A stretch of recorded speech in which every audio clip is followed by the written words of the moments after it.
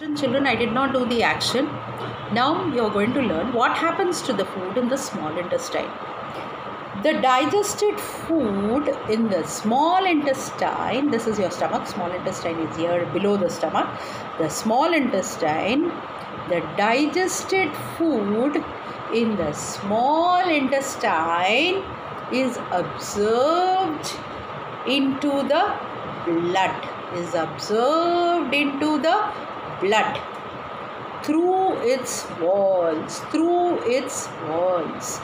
The blood the blood then carries the digested food to all parts of the body and produces energy. Energy means you get the strength okay to play to work and all that. So the digested food in the small intestine is absorbed into the blood through its walls. The blood then carries the food to all parts of the body and produce energy. Did you all understand? Now how is saliva useful in digesting food? I told you saliva, A2 inside. How is it?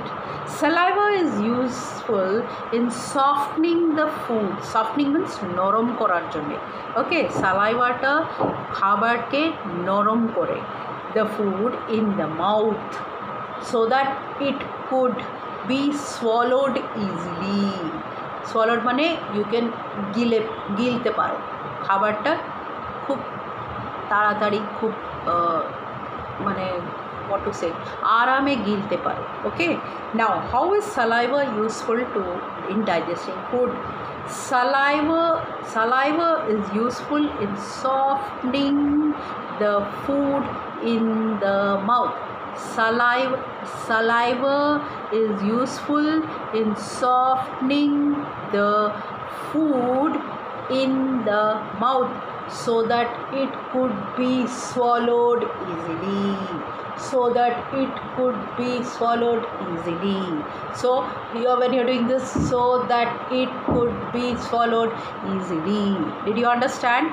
That's how you're going to do the action and learn. Now i'll come back to the next one